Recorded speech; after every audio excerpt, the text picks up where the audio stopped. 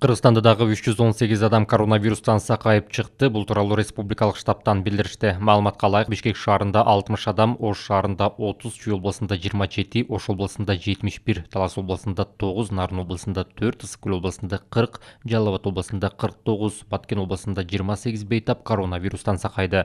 Ошонтеп өлкө бойынша вирусты жеңіп шыққандардың жалпы саны 34885-ке жетті. Ал эми өткен күні COVID-19 илдетинин кесепетинен 2 қырғызстандық қаза болды.